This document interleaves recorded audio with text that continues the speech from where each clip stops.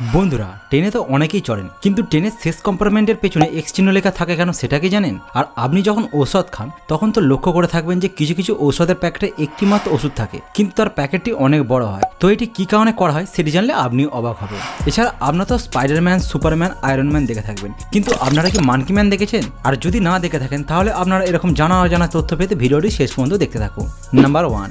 তোমরা দেখে থাকবে যে কখনো কখনো ওষুধের প্যাকেটে একটি মাত্র ওষুধ থাকে। কিন্তু তার সত্ত্বেও প্যাকেটটি অনেক বড় করা হয়। কেন এরকম হয়? ছোট করলে তো কোম্পানি অনেক টাকা বাঁচতো। বেকার বেকার এত বড় করে লাভ কি? তো এর কারণ হলো ঔষধ কোম্পানিগুলির উপর গভর্নমেন্ট দ্বারা একটি নিয়ম চালু আছে, যে ঔষধের কি কি মেটেরিয়াল মেশানো হচ্ছে সেগুলি প্যাকেটে লিখে দিতে হবে, যাতে যিনি ঔষধ খাবেন তিনি সেগুলি সঠিক সঠিকভাবে জানতে পারেন তাই ওই ঔষধই তৈরি করতে অনেক রকম মেটেরিয়াল ব্যবহার করা হয়, সেগুলি লিখতে লিখতে প্যাকেটটি বড় হয়ে যায়, আর সেই কারণে ওষুধের প্যাকেটটি অত বড় করা হয়। নাম্বার টু এই দুনিয়াতে কত ধরনের চাকরি আছে? যেমন বগলের গন্ধ শোকে আপনি কয়েক লাখ টাকা ইনকাম করতে পারেন। কি আজব ব্যাপার, তাই না? শুনে হয়তো আপনার গা ঘিনঘিন করছে, সে যতই করুক না কেন। কিন্তু এরকম ডিওডেন্ট প্রস্তুতকারক সংস্থা তার পণ্যের গুণগত মান নিশ্চিত করার জন্য বগল শোকার জন্য লোক নিয়োগ করে থাকেন। আর যাদের গায়ের গন্ধ শোকা হয়, সেই ব্যক্তিকে একটি রুমের মধ্যে অথবা নিজেরা সারাটা দিন বাইরে কাটান। আর তারপর তাদের ষাট জনের অধিক ব্যক্তির বগলের গন্ধ শোকানোর কাজে নিয়োগ করা হয়। আর এর মাধ্যমে নিশ্চিত করা হয় যে ডিওডিন কতটা কার্যকরী বা কতক্ষণ ধরে তার পারফিউমের গন্ধটি আসে। তাই ভালোভাবে চেক করার জন্য এরকম করা হয়ে থাকে।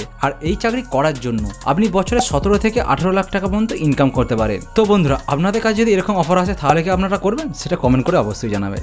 নাম্বার থ্রি আপনারা তো অনেক রকমের ট্রেন দেখে থাকবেন। কিন্তু আপনারা বহু ট্রেনে দেখে থাকবেন, শেষ কম্পার্টমেন্টের পেছনে এক্স লেখা থাকে। আর এটি কি কারণে থাকে সেটা কি জানেন? তো প্রকৃতপক্ষে ট্রেনের এক্স চিহ্নটি মানে বগি শেষ। অর্থাৎ এই চিহ্নটি তৈরি করার অর্থ হলো, এরপর আর ট্রেনের কোনো বগি নেই মানে বগি শেষ। কিন্তু কোনো ট্রেনে যদি না থাকে, তাহলে তার মানে হলো ট্রেনটি জরুরি অবস্থায় আছে। আর এটাই হলো রেলের নিয়ম, এবং এই চিহ্ন হলুদ বা সাদা রং দিয়ে বোঝানো হয়। এছাড়া ট্রেনের বগিতে শেষে লাল আলো রয়েছে। এটিরও অনেক ভূমিকা আছে।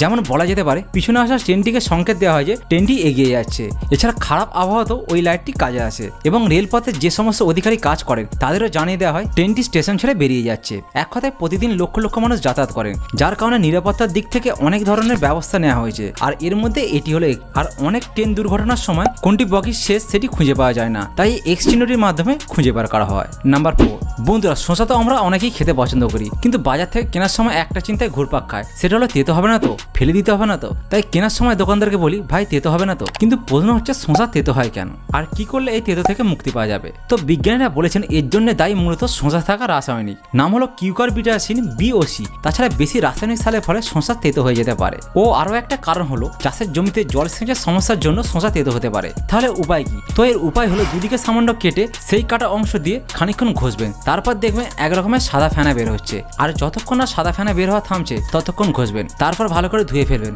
ব্যাস, দেখবেন তেতো ভাবটি কেটে গেছে। আসলে এরকম করাতে কিউকার বিটাসিন বেরিয়ে আসে, আর তাতেই তেতো গায়েব হয়ে যায়। নাম্বার ফাইভ আপনারা তো স্পাইডারম্যান সুপারম্যান আয়রন ম্যান দেখে থাকবেন। কিন্তু আপনারা কি কোনোদিন মানকি ম্যান দেখেছেন? আর যদি না দেখে থাকেন, তাহলে দেখে নিন। ইনি হলেন মানকি ম্যান যিনি এমনভাবে কোনো কিছু সেফটি ছাড়াই পাহাড়ে ওঠেন, যেটা দেখে আচ্ছা আচ্ছা বাঁদর পর্যন্ত হার মানাবে। তো প্রথমে আপনারা এই ভিডিওটি দেখে মনে হতে পারে, এটি টার্জান বা সুপারম্যান মুভির কোনো দৃশ্য। কিন্তু না, এটি কোনো মুভির দৃশ্য না। এটি এই ব্যক্তিটির নিজেরই কাণ্ড কারখানা আর এনার নাম হলো জ্যোতিরাজ, ভারতের কর্ণাটকে বাড়ি। আর ইনি এরকম শুরু করেন নিজের অজান্তেই। মানে একটি বাঁদরকে ফলো করতে করতে পাহাড়ে ওঠে এবং তারপর সে নিচের দিকে তাকিয়ে দেখে যে অনেক লোক তাকে দেখে হাততালি দিচ্ছে। আর তারপর থেকে তিনি তার এই অসাধারণ প্রতিভা জানতে পারেন। আর এরপর তিনি এটাকে নিজের ট্যালেন্ট বানিয়ে একের পর এক রেকর্ড করতে থাকে। আর সেই কারণে এনাকে ভারতের মানকি কিং বলা হয়। এনার পরবর্তী স্বপ্ন হলো বুর্জ খালিফাতে ওঠা।